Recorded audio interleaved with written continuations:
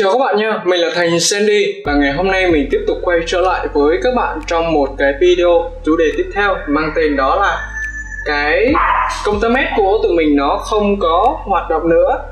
Và sau cái quá trình mình kiểm tra xe và mình nhận thấy cái vấn đề nó diễn ra từ đâu và mình đúc kết được các cái bài học sau khi mình đi mua cái sợi dây công tơ mét và các cái phụ tùng và vì thế ngày hôm nay mình muốn chia sẻ tới các bạn để các bạn biết và các bạn bảo trì nó một cách đúng cách và các bạn sử dụng nó được lâu dài hơn. Đúng nào? Thì đầu tiên, các bạn hãy chú ý giúp mình một cái. Thì cái xe này á, bộ phận công tơ mét nó sẽ có ba cái phần chính. Đầu tiên là cái phần sợi dây truyền tín hiệu từ cái bánh xe lên cái bộ phận đồng hồ này tiếp theo là cái bộ phận trên này. Nó là một cái bộ phận bánh răng để nó truyền động truyền cái tín hiệu qua cái sợi dây này. Và bộ phận thứ ba là nó bộ phận nhận tín hiệu và nó sẽ hiển thị lên cái đồng hồ hay là cái kim nó xoay. Và nó có một cái bánh để hiển thị à, và di chuyển để nó tùy chỉnh à, để hiện lên cái à, số km chúng ta đã sử dụng rồi. Đó. Thì sau quá trình mình kiểm tra hết tất cả cái xe thì mình nhận ra rằng cái vấn đề chú chốt nó bị hư, nó nằm ở đây. Và cái vấn đề thực sự nó nằm ở phần bảo trì, bảo dưỡng của mình. Thì phần bảo trì, bảo dưỡng là gì? Thì mình đã tháo ra mình xem rồi và mình kiểm tra rằng á, cái bộ phận dây công tơ mét là cái bộ phận chủ chốt nó gây ra cái vấn đề. Và cuối cùng mình phải thay cái sợi dây này. Nhưng tiện thể mình cũng cũng sẽ giải thích cho các bạn hiểu là tại sao chúng ta cần phải bảo trì nha. Đúng không nào? Thì trước khi chúng ta khắc phục cái vấn đề trên thì các bạn giúp mình cần các cái dụng cụ sau đây. Đầu tiên các bạn nếu mà ở nhà không có thì các bạn có một cái molet để chúng ta có thể vặn ốc này cũng được. Nhưng mà hiện tại hôm nay mình sẽ không vặn ha. Mình chỉ là molet để phụ tùng mình vặn bên trong thôi. Tiếp theo các bạn giúp mình có một cái cây kề để phòng trường hợp các bạn cần sử dụng sử dụng tới ha. Tiếp theo các bạn cần giúp mình một cái bộ tô vít ha. À, tô vít thì nó sẽ giúp chúng ta à, tháo các cái con ốc trên ờ, thân máy này lát mình sẽ tháo thì các bạn sẽ thấy thôi. Tiếp theo các bạn có giúp mình một cái hộp mỡ bò ha. Hộp mỡ bò thì uh, để làm gì chúng ta lát chúng ta sẽ xài thôi. Thì lúc đó các bạn sẽ thấy và các bạn sẽ hiểu. Rồi bây giờ mình sẽ uh, zoom lại cái vị trí mà cái uh, cái phần nó bị hư như thế nào mình sẽ giải thích ngay ở trong đó luôn nha.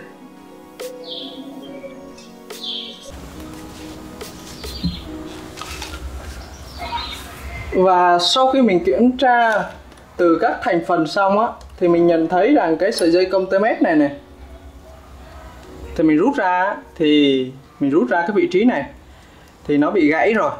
Và hay nói cách khác là nó đã bị xoắn cái sợi dây này. Nếu các bạn nhìn rõ vào trong cái video á, các bạn thấy rằng cái sợi dây công tơ mét này nó bị xoắn rồi. Nó bị xoắn và nó bị đan uh, hư rất là nhiều này thậm chí mình xem mình cảm nhận rằng cái mỡ bò ở trong cái thành phần của nó nó không còn uh, được có tính chất bôi trơn nữa. Và cái sợi dây nó bị xoắn luôn nha các bạn nó bị xoắn luôn. Và mình kiểm tra vào trong cái khe này này thì uh, cái vị trí mà để nó nối cái cái cái sợi dây công tơ mét này thì mình cảm thấy như nó nó nó nó bị mài mòn một chút xíu. Thì đó là cái phần gọi là mình sử dụng hay là bảo trì bảo dưỡng không có được tốt thì đó là lý do lúc nãy mình có nói các bạn là cần một cái hộp mỡ bò như thế này để chúng ta biết cách chúng ta à, uh, bôi mỡ vào để chúng ta sử dụng nó được dài lâu ha. Thì đó. Thì mình cũng mình sẽ không mỡ cái phần này ra đâu. Mà mình chỉ chia sẻ với các bạn đó là cái bộ phận này này nó có cái hai cái bánh răng nhựa. Và vì thế khi các bạn sử dụng á các bạn hãy nhớ là một thời gian các bạn hãy mỡ ra và các bạn bôi cái mỡ bò vào phần này. Còn phần phía trên này á phần phía trên về cái đầu máy lát nữa mình sẽ nói sau khi ờ, mình đề cập tới liên quan nha các bạn.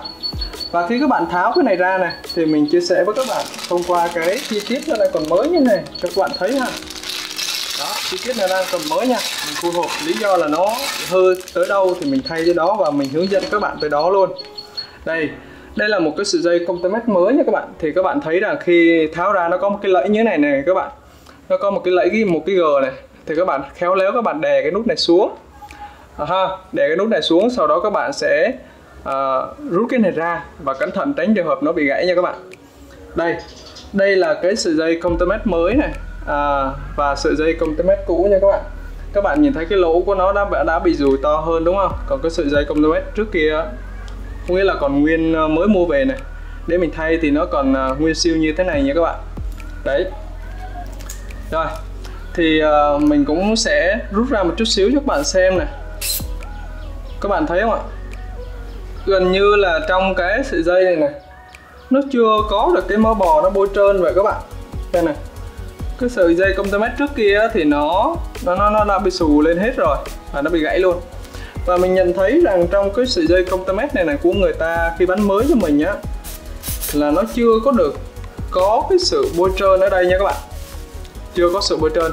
Và vì thế thì khi chúng ta mua về thì chúng ta phải cần có chú ý đó là chúng ta cần phải bôi trơn cái cái sợi dây này trước khi sử dụng nha các bạn.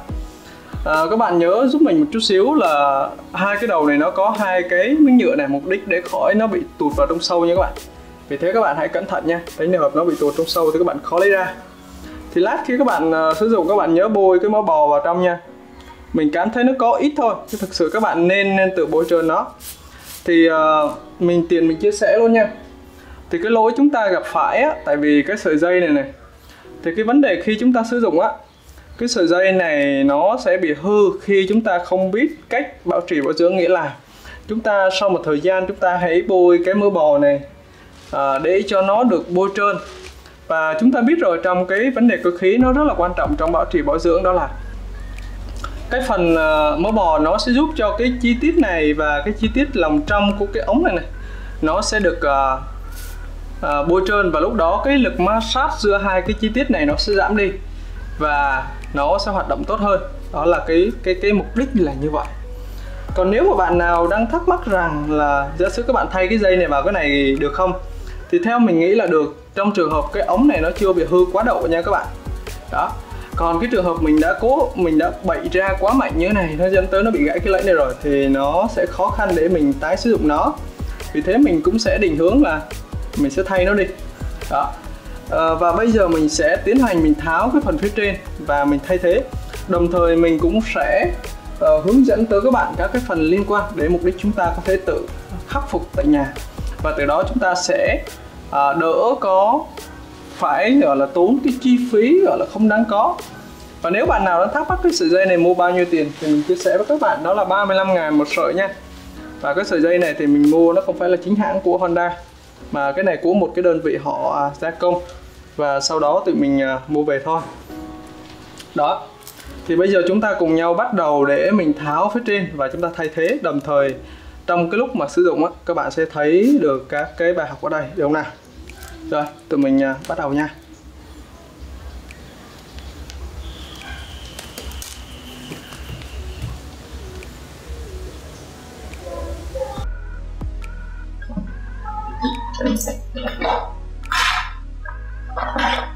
À, và bây giờ chúng ta sẽ cùng nhau tháo cái bộ phận uh, cái đầu xe để chúng ta gắn cái sợi dây công tơ mét vào nha các bạn. Thì uh, mình nhắc lại một lần nữa nha khi các bạn kiểm tra thì các bạn nhớ là kiểm tra phần phía dưới này nó có một bộ phận à, gọi là bánh răng để nó truyền vào cái sợi dây công tơ mét nha. Vì thế các bạn phải kiểm tra bộ phận phía dưới và sợi dây công tơ mét và tiếp theo là kiểm tra cái bộ phận này bây giờ mình sẽ tháo lại cho các bạn xem ha. Thì uh, các bạn nhớ là khi kiểm tra là như vậy nha. Khi mà các bạn muốn tháo cái bộ phận đầu phía trên này các bạn tháo các con ốc nó gắn bên xung quanh cái đầu xe nha các bạn. Các bạn tháo lần lượt và các bạn nhớ sử dụng sử dụng một cái bộ tô vít nó chất lượng ha để tránh trường hợp nó bị uh, tròn ren các cái con ốc này và nó bị cháy các cái cạnh. Thì bây giờ chúng ta sẽ từng bước từng bước chúng ta tháo ra ha.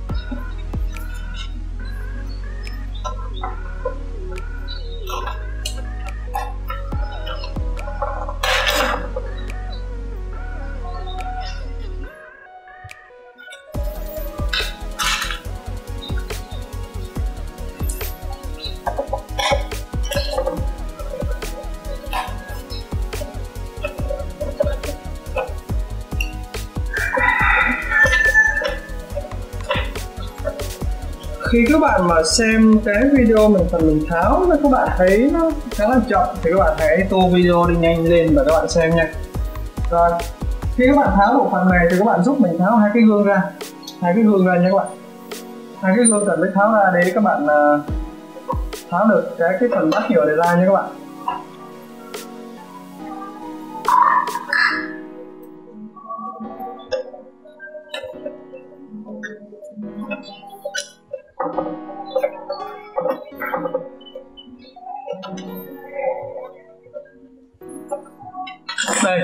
Cái wallet thì một phần các bạn sẽ bây giờ sẽ xài rồi đó. Nhiều lúc một số xe nó sẽ bị kẹt và bị khó vị trí này. Vì thế các bạn cần phải sử dụng cái wallet để các bạn à, uh, vặn cái gương ra nó dễ dàng hơn. Đó là cái lợi ích của cái mô led bạn.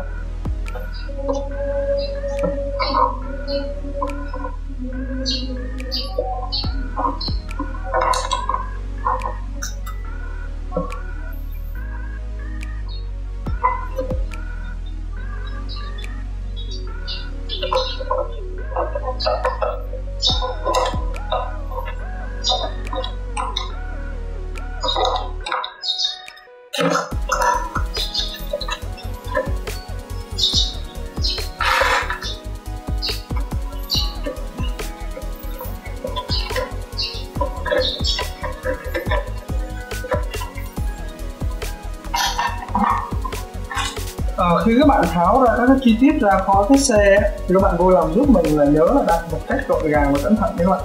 Tránh trường hợp số bạn đặt nó lộn xộn á, thì nó sẽ bị hư các cái chi tiết ha. Nhớ đặt gọn gàng các bạn. Thì bây giờ đến cái phần mình tháo cái áo này ra rồi. Đấy. Thì mình chia sẻ với các bạn một chút xíu này khi mà tháo cái chi tiết này ra, nó sẽ bị vướng với phần phía trước vì thế chúng ta. Các bạn giúp mình một cái, các bạn tháo hai con ốc ở chỗ cái đầu, lấy cái mặt này ra giúp mình nha thì lúc đó các bạn à, tháo cái bộ này ra nó sẽ không bị vướng.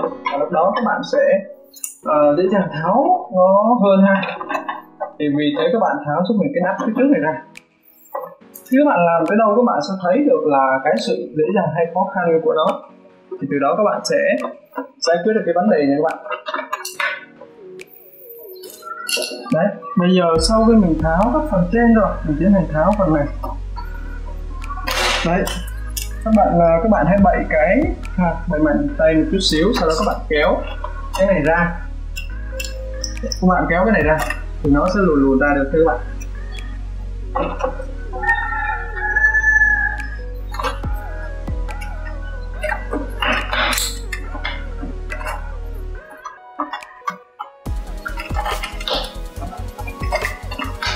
Rồi. Sau khi mình cầm chắc thì mình đã kéo nó tuột ra rồi đó thì thực sự nói thật với các bạn là cái xe này mình tháo ra cũng khá là nhiều. Tại vì là mình hay ờ, tháo ra mình kiểm tra các bộ phận bên trong và mình uh, sửa chữa vân vân. Nhiều lúc là mình thay cái bầu lọc gió ở trong cái xe cái cái cái miếng lọc á trong cái xe của future này. Lý do là mình bây giờ mình ít tìm ra ra tiền trừ khi những cái trường hợp nó rất là khó thôi. À, mình chưa biết thôi còn những trường hợp nào mình biết thì hầu hết mình sẽ tự xử lý nó ở đây. Bây giờ đến bộ phận này thì các bạn hãy lần lượt các bạn tháo nhìn kỹ ha. Các bạn thấy bạn nhẹ nhàng ra từ chi tiết một ha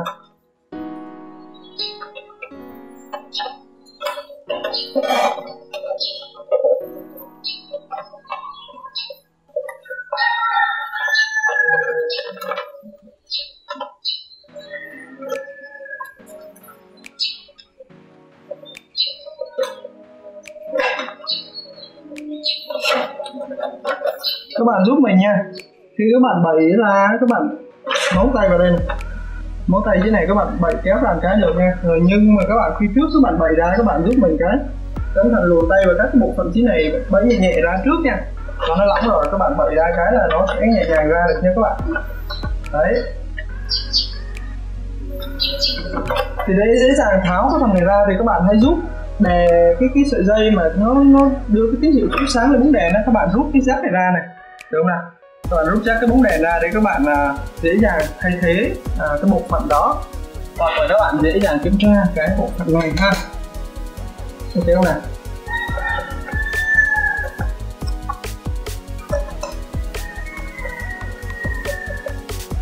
Đấy bây giờ đến cái phần có nghĩa là chúng ta sẽ kiểm tra và thay thế cái đồng hồ này. À, tại sao chúng ta phải dùng từ là kiểm tra trước nha? Rồi đây bây giờ mình chia sẻ với các bạn một chút xíu vừa rồi mình thấy nè. Khi mình tháo ra cái bộ phận này ra nhé các bạn. Các bạn nhìn thấy rõ không ạ? Khi mình tháo cái bộ phận này ra để mình xem thì mình nhận thấy con ốc này nó khá là lỏng nó không chắc nha các bạn. Nó không được chắc chắn lắm. Điều đó chứng tỏ rằng cái con ốc này nó lỏng cũng có thể là một trong những nguyên nhân để dẫn tới cái bộ phận này nó bị hư nha các bạn. Và vì thế chúng ta cần phải chú ý từng chi tiết từng chi, chi tiết một để chúng ta bảo trì cái xe chúng ta thật tốt hơn. Rồi bây giờ mình biết rằng là cái sợi dây này nó đã bị hư thành ra mình tháo luôn ha. Đấy. Và mình rút được ra sợi dây này các bạn. Rút hai cái sợi dây ra luôn này này các bạn. Sợi dây mình thấy cái sợi dây này bên trong nó được bôi trơn mỡ cũng khá là đầy đủ nha các bạn. Và mình đúc kết lại thì mình nghĩ rằng là cái lỗi của mình nó xuất hiện liên quan về bảo trì bảo dưỡng là một. Đây, các bạn thấy nó cái mỡ nó bị khô luôn ạ nó bị khô luôn này khô dính cục. Mà bản chất khi mà khô dính cục như này thì cái khả năng bôi trơn của nó nó sẽ giảm đi. Nó giảm đi rất là nhiều nha các bạn. Nó giảm đi rất là nhiều. Đấy. Nó giảm đi rất là nhiều nha các bạn. Vì thế chúng ta cần phải bôi trơn mỡ một cách đầy đủ trước khi chúng ta thay thế nó bạn. Và bây giờ mình sẽ làm một cái à, lựa chọn. Nó là một quá trình thí nghiệm đối với chúng ta nha. Đó là mình sẽ chọn một cái phương án đó là mình sẽ thử thay cái sợi dây này vào. Thử thay cái sợi dây này vào. Xem thử nó có hoạt động được không. Mục đích của mình chỉ là test cái xe trước là một. Thứ hai là mình xem thử sợi dây công mét này nó thay vào được không và nó xài được không. Ha, mình không biết là nó xài được không đã. Đó, mình mới xem thử thôi. Nếu mà thực sự có khả năng nó xài được thì mình có thể thay thế nó xài luôn. Khỏi với thay cái vỏ của cái sợi dây đó nếu mà mình theo mình cái bán chất kinh nghiệm á thì mình đánh giá rằng là khi mà thay là nên thay nguyên bộ luôn nha các bạn. Đó mình cảm nhận rằng cái sợi dây này nó nó nó không hợp hợp với cái bộ dây cũ của cái xe nữa. Mình cảm giác nó không có còn cân như trước nữa. Và thứ hai này nếu các bạn nhìn uh, kỹ hơn trên cái tay mình á nó có, có các cái bao bia của kim loại á. Thì bao bia kim loại thì nó sẽ uh, khi bị gãy nha các bạn, nó sẽ có tồn đọng lại các cái bao bia các kim loại vì thế thì ờ, để mà sử dụng tái sử dụng thì điều đó là không không nên nữa nha các bạn. Không nên, với quan điểm của mình thì nó không nên sử dụng nữa. Vì thế các bạn giúp mình một cái là nên thay thế cái mới luôn nha. Các bạn giúp mình thay thế cái mới luôn. Đấy. dẫu là thực sự cái hàng của hãng thì bao giờ chúng ta cũng sẽ đánh giá cao hơn để chúng ta sử dụng đây là các bạn thấy không ạ? Cái sợi dây mình lắp vào á nó vừa ngắn đủ tầm luôn. Còn nếu mà cái sợi dây mà khi mà mình thay sợi dây zin vào để mình à, uh, võ bên ngoài để mình xài á, thì mình cảm giác nó ngắn hơn. Vì thế bây giờ mình phải quyết định đó là mình phải tháo nó ra. Và uh, thay thế bằng một cái sợi dây mới nha các bạn.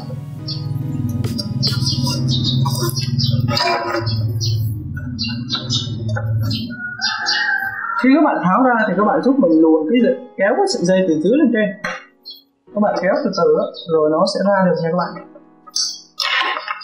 Nó sẽ ra được nha. Các bạn kéo à, tương đối nha đừng có kéo mạnh tay quá nó cẩn thận nó sẽ bị à, xước các cái bộ phận phía trong ha. Nó sẽ gây đến cái tình trạng hư hỏng hóc gì đó nha.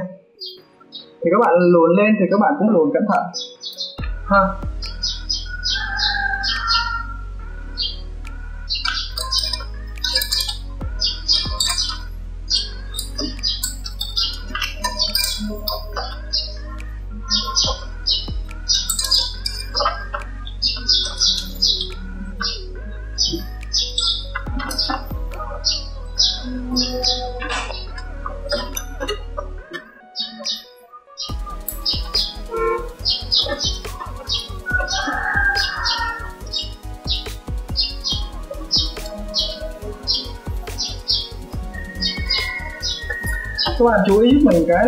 Khi mà chúng ta làm việc á thì uh, thực sự chúng ta cần phải cẩn thận nha các bạn. Uh, và hãy xem bản thân các bạn là như là những người mới nha. Bởi vì thực, thực tế thì chúng ta là những người mới thôi nha các bạn chúng ta không có gì là giỏi cả. Vì thế chúng ta cần phải cẩn thận từng bước từng bước một. Và khi các bạn lắp vào thì các bạn cẩn thận các cái, cái, cái vị trí cái sợi dây sen nó đúng cái vị trí cần gắn chưa? Tránh trường hợp là nó sai cái vị trí ha. Sai cái vị trí và dẫn tới nó gắn không có được. Đây khi mình luồn xong thì cái dây nó đã lú lên cái vị trí trên rồi. Thì nói thiệt với các bạn nếu mà so với cái với cái sợi dây hãng và cái gốc của nó thì mình vẫn thích cái sợi dây hãng hơn. Thì đó là về cái nhìn công nghệ thôi. Còn mình mình vẫn chưa đánh giá được. Thì bây giờ mình đã à, luồn lên xong và mình muốn lắp cái sợi dây này vào để mình chạy. Thì bây giờ trước khi lắp mình sẽ làm một cái thao tác. Đó là mình sẽ bôi cái mỡ lên trên cái sợi dây này. Đó là điều bắt buộc mình phải làm rồi mình không thể nào để cái sợi dây này không có mỡ trước khi mình lắp vào trong cái ống nha. Các bạn hãy vuốt nhẹ nhàng ờ, cẩn thận nha các bạn. Để xem thử là lỡ nó có các hạt cát gì đó thì các bạn nhớ lấy nó ra sự tinh nha. Tại vì các cái hạt cát là một trong những cái mối nguy hại nó dẫn đến cái việc kẹt. Và khi mà kẹt hoặc là nó bị ma sát vào cái sợi dây á, thì nó sẽ dẫn tới là các cái sợi dây này nó sẽ bị nhanh hư hơn. Ha đó là cái thực tế chứ mình không phải là mình nó đưa điều gì cả ha. Vì thế chúng ta hãy cẩn thận từng cái từng cái một nha các bạn. Thì sau khi mình đã bôi mỡ rồi thì mình tiến hành mình xỏ cái sợi dây vào lại ha. Mình xỏ sợi dây vào lại. Mình à, thấy rằng thực sự đúng như cái lời mà các cái chú bán hàng cho mình chú bảo rằng là uh, biết cách sử dụng á thì à, cái này sử dụng có đời cũng không hư các bạn ạ. Thì uh, mình thấy chú nói cũng khá là đúng đấy các bạn chúng ta nếu biết cách sử dụng thì cái đời nó không hư đâu. Còn không biết cách thì thời gian ngắn nó cũng sẽ hư rồi. Đây và khi mình thấy cái vị trí rắc này này nó cuốn vào mình thấy là nó cần phải bôi hơn thì các bạn nhớ cẩn thận bôi cho nó đầy đủ nha. Các bạn bôi nhớ là giúp mình bôi vừa phải thôi và sử dụng nó một cách tương đối. Đến trường hợp nó sẽ bị hư cái à, giá sử bụi bặm nó vào nó kẹt cái cái rắc đó là một điều không hay. Thì ờ, các bạn làm gì thì làm cũng nhớ là lắp xong á. Các bạn thử xoay xem. Cái cái công tơ mét xem nó có chạy không? Tại vì khi mà các bạn lắp cái đầu giáp này này các bạn xoay tròn cái giáp này, này thì các bạn sẽ nhận thấy được là cái kim đồng hồ nó sẽ chạy lên hay là chạy xuống một chút. Thì sau khi mình lắp mình cảm nhận được mình xoay mình dùng một cái từ là xoay tròn nó đúng hơn sau khi mình xoay tròn cái sợi dây công tơ mét này này thì mình cảm nhận rằng là nó đã à, di chuyển ha. Nó đã di chuyển rồi. Và vì thế bây giờ mình sẽ tiến hành mình vặn tròn nó lại cắt nó lại. Thì đối với mình thì à, mình không biết là nó có sẽ phù hợp với một số người trong nghề không. Nhưng mà đối với cái nhìn của mình mình sẽ bôi một nhiều mỡ chỗ này với mục đích nó à, được à, bôi trơn đầy đủ đối với các cái vị trí này sau đó mình sẽ tiến hành lắp lại. Đúng này mình sẽ tiến hành à, lắp lại nó trước ha. Đó mình sẽ tiến hành lắp lắp nó lại. Mình sẽ vặn cái con ốc này à, chắc chân lại. Đó. À, chú ý với các bạn chú ý một chút xíu là các bạn đừng có vặn chắc tuyệt đối nha các bạn. Tại sao chúng ta không có vặn chắc tuyệt đối là như thế này này? Khi các bạn vặn chắc tuyệt đối thì lỡ các bạn muốn can thiệp phía dưới thì nó rất là khó. Đúng không nào? Rồi. Và các bạn hãy đợi mình chút xíu nha. Mình sẽ lùi cái cái máy máy quay nó xa chút xíu để chúng ta thấy nó toàn cảnh hơn nha.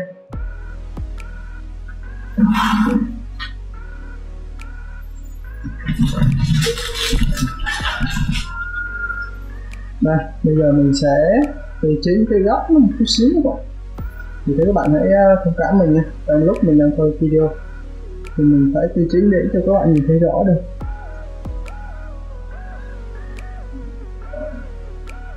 Đây. À, bây giờ mình sẽ tiến hành quay xuống góc phía dưới cho các bạn thấy là cái sợi dây này.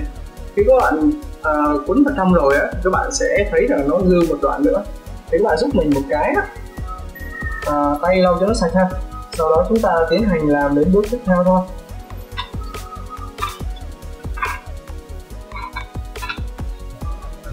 Bản chất các bạn làm cái nghề nào cũng vậy ha.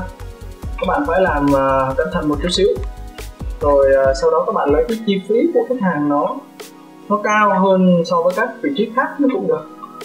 Nghĩ là các bạn làm đúng cách tâm công nghề là được rồi. Còn họ suy nghĩ sao thì việc của, của họ với các bạn?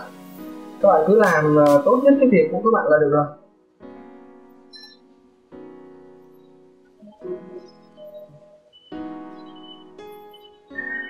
Các bạn nhớ bôi cẩn thận uh, cho các bạn nha.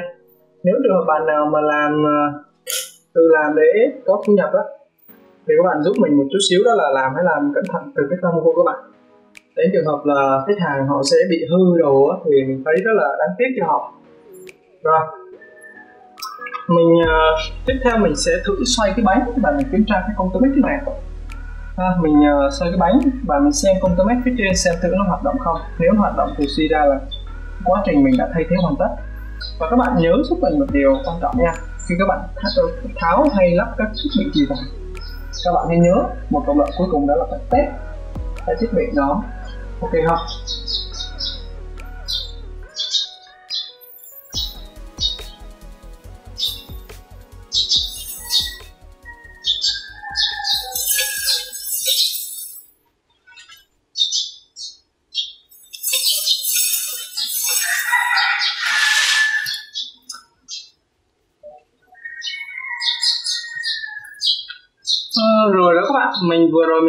Thay xong và mình thấy mình kiểm tra trên các cái bộ phận phía trên và phía dưới á mình nhận thấy là khi mình xoay cái bánh này này thì cái bộ phận phía trên nó đã xoay rồi.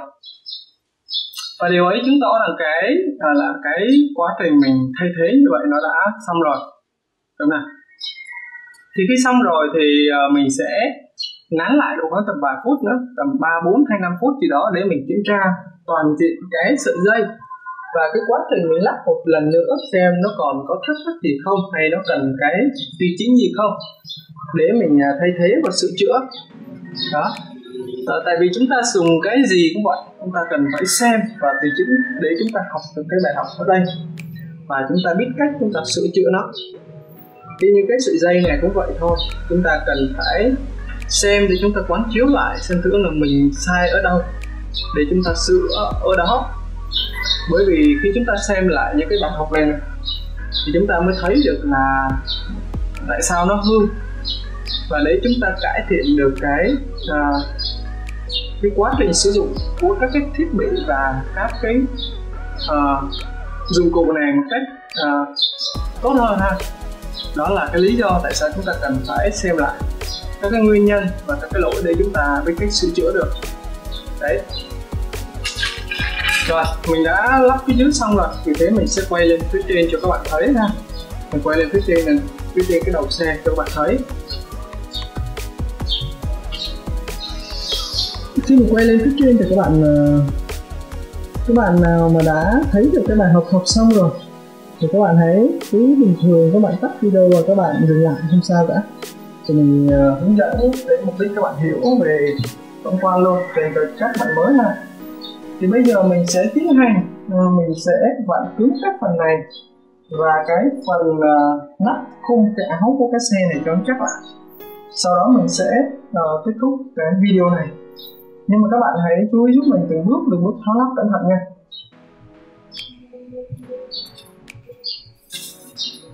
Rồi nguyên tắc cái mình là làm cái gì thì làm. Các bạn hãy giúp mình một cái.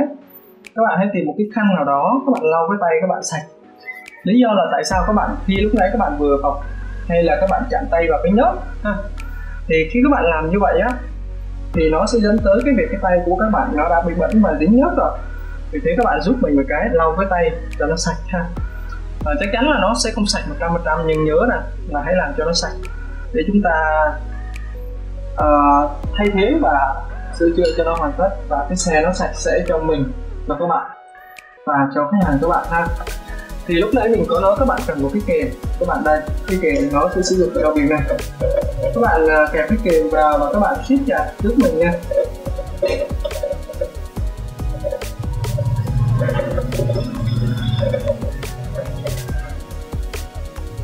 À, mục đích siết chặt thì để cho cái sợi dây này nó liên tiếp xuống dưới cho nó hoàn chỉnh. Và sau đó một lần cuối cùng mình sẽ test lại.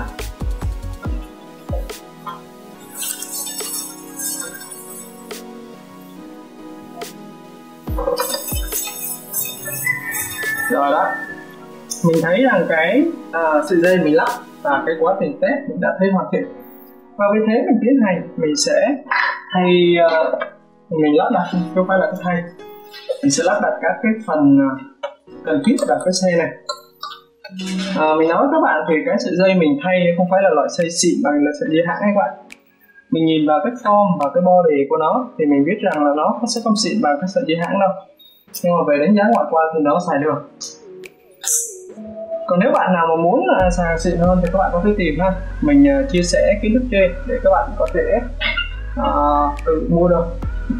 Cái giá tương đối như vậy. Thì khi các bạn lắp cái này vào các bạn nhớ là lắp cái jack của cao đèn trước này. Nhớ và sau đó các bạn lùa tay nhẹ nhàng từ lắp từ trên xuống dưới này.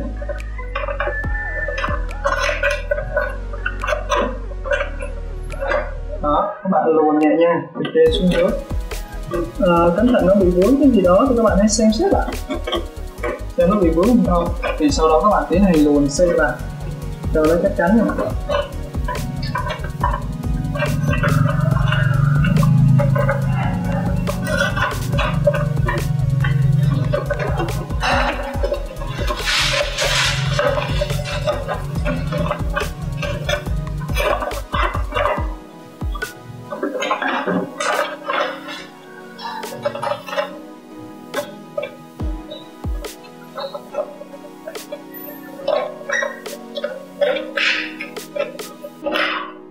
chia sẻ với các bạn khi các bạn lắp cái gì cũng vậy các bạn hãy nhớ là nhẹ tay nha. Khi gì mà nó bị nặng tay ấy, thì các bạn hãy từ từ lại. Đúng là các bạn đẩy nhẹ tay một chút xíu này nó có cái miếng cao su nó đánh vào cái chốt nó giúp cho cái việc chống rung các bạn. Đó.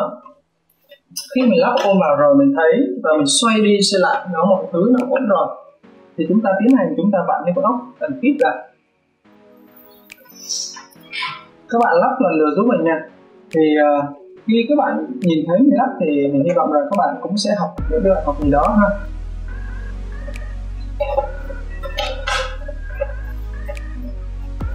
À, nếu mà trong quá trình mình ờ, lắp đặt hay sửa chữa gì đó nó sẽ còn những cái cái cái, cái thiếu sót thì các bạn hãy cứ bình luận phía dưới để mục đích là tụi mình cũng đồng thời cải thiện cái khả năng của chính mình nữa nha các bạn. Mình hy vọng là điều đó thì có nghĩa là chúng ta sẽ hỗ trợ cho nhau để chúng ta học để bài học. Ha mình uh, chỉ là một cái người hướng dẫn uh, sau khi những cái lần mà mình uh, thất bại thôi. Và vì thế mình sẽ chia sẻ những cái bài học như vậy.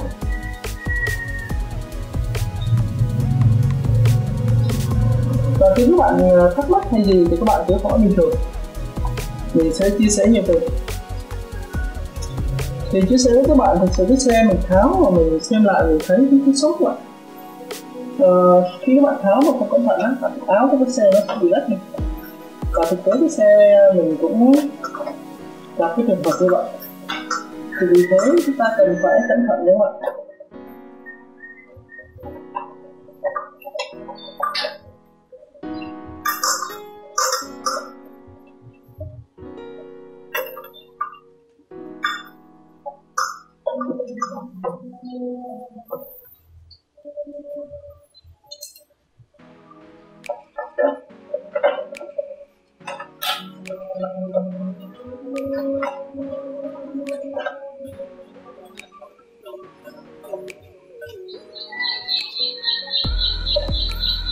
đó.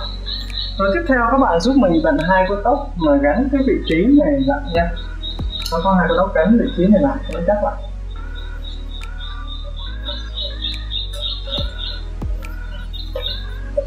Các bạn giúp mình bắt nó thật chắc con ốc lại nha. Nhưng mà cái con ốc này nó vặn vừa được thôi. Nếu các bạn bận quá tay á, nó sẽ dẫn tới nó bị phá cái phá cái đường ren nhựa các bạn. Đó. Sau đó các bạn lần lượt đánh cái bát phía trên này lại giúp mình nha.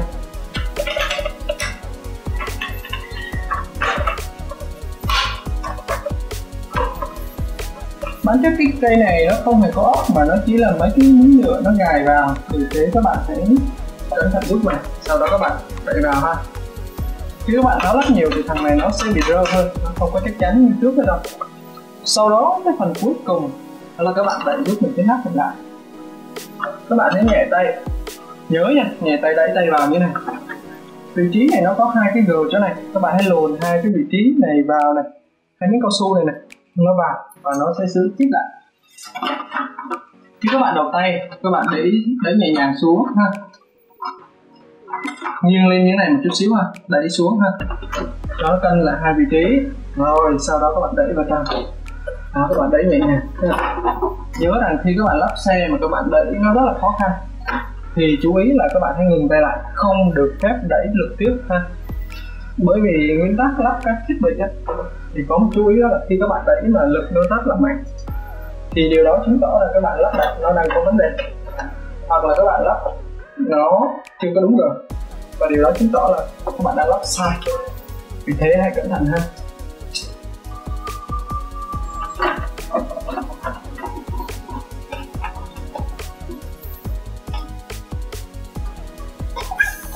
Đó đó khi các bạn lắp xong cái phần này rồi các bạn giúp mình đến phần cuối cùng đó là thanh kim gương xe. Nha cái kích phần nào các bạn lắp gương phần đó.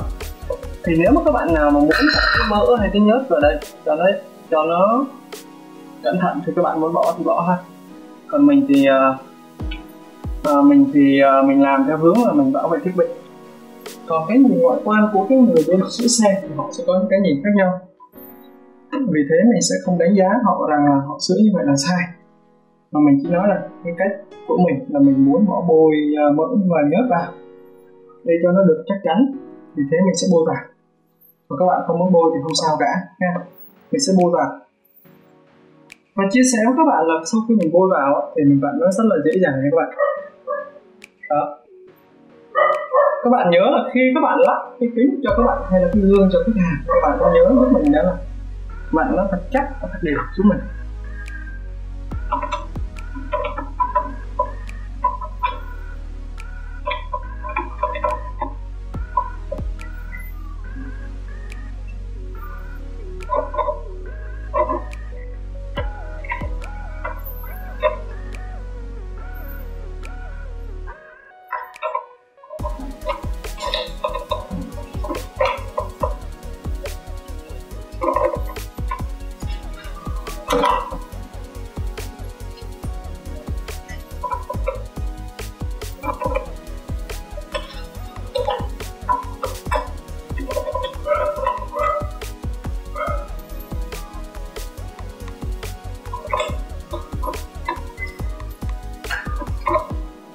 Các bạn nhớ giúp mình một chút xíu là cái gương cũng như một cái linh hồn của một cái xe nha các bạn. Vì thế các bạn khi mà làm gì các bạn cũng phải cẩn thận giúp cho người ta. Để, để cho người ta lái cái xe nó thực sự được an toàn các bạn vì thế khi canh cái gương như họ thì các bạn hãy canh bằng cái trái tim của các bạn. Cái mục đích cái việc mà người ta sử dụng cái uh, xe thiết bị ha họ sẽ được uh, uh, an toàn khi họ sử dụng sau khi cái quá trình mà ghé cái tiệm của các bạn bảo dưỡng ha đồng ý là cái thời gian của các bạn sẽ lâu hơn. Thì các bạn làm cẩn thận như vậy thì à, chúng ta cũng phải chấp nhận thôi cái nghề nào nó cũng sẽ uh, phải có cái nguyên tắc của nghề đó. Đó là chúng ta cần phải làm được cái tầm của, của chúng ta nha. Thì sau khi mình đã cắt vào trong xong thì mình mới tiến hành đó là siết chặt các con tóc lại. Tương tự mình sẽ siết chặt các bạn sau đó mình sẽ căn chỉnh cái cái cái phần phía trên. Rồi nó đúng vị trí nha các bạn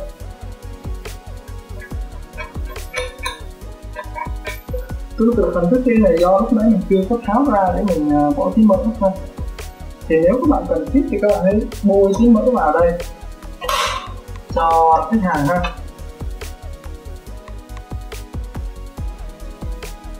đây là cái gặp trường hợp nào các bạn muốn làm ha? Thì thực sự nếu mà cái người thợ hầu hết họ sẽ không có bôi đâu. Phần lớn họ sẽ không bôi vào cái phần này. Thì bởi vì về cái đánh giá của họ thì khả năng chịu lực và hư hỏng cái phần này thì khá là ít. Còn mình thì mình muốn mọi thứ nó được là perfect nhất, thành ra mình sẽ mua vào tất cả.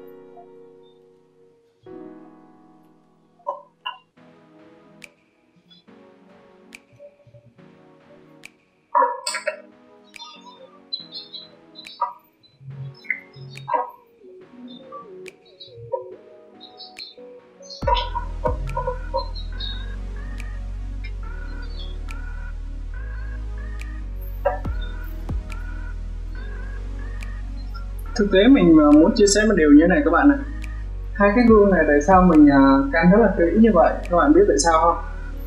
Mình cũng là một người từng có uh, từng từng cháy xe rồi. Và cái hai cái gương này, này các bạn này hai cái gương này là một trong những cái thành phần nó đã đỡ cho mình khi mình bị té cái xe. Vì thế mình thực sự cái khuyên thật lòng các bạn thì các bạn nên gắn hai cái gương hai bên để các bạn đi nó được an toàn hơn.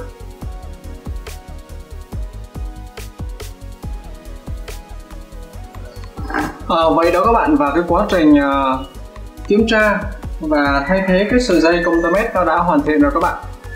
À, và mình hy vọng rằng cái thông điệp tụi mình chia sẻ à, tụi mình à, truyền tải tới các bạn đó là những cái điều chân thành từ cái trái tim của tụi mình. Tụi mình cũng hy vọng rằng các bạn sẽ sử dụng cái thiết bị và cái xe của các bạn được tốt nhất và được an toàn nhất trên cái chuyến đường của các bạn sẽ di chuyển. Đó là điều thực lòng của tụi mình nha bởi vì cái xe nó là một cái phương tiện nó rất là bổ ích với chúng ta. Nó là một cái một cái người bạn mà chúng ta khó để chúng ta lý giải được bằng lời. Dùng bằng lời nói thì chúng ta diễn tả được những cái người bạn đồng hành chúng ta rất là khó. Thậm chí người vợ, người chồng của chúng ta cũng vậy. Và cái xe nó cũng có, nó cũng có mối liên hệ với cơ thể của chúng ta như vậy. Và vì thế mình hy vọng rằng các bạn sẽ có và di chuyển trên những quãng đường thực sự rất là an toàn nhất có thể nha các bạn. Rồi mình uh, thực sự chân thành cảm ơn các bạn đã ghé kênh Thành Sandy và tụi mình hứa rằng tụi mình sẽ tiếp tục gửi đến các bạn những cái video cực kỳ bổ ích và chất lượng. Cảm ơn các bạn đã ghé kênh Thành Sandy bye bye và hẹn gặp lại các bạn ở những video tiếp theo nếu các bạn thực sự cần nó. Chào các bạn.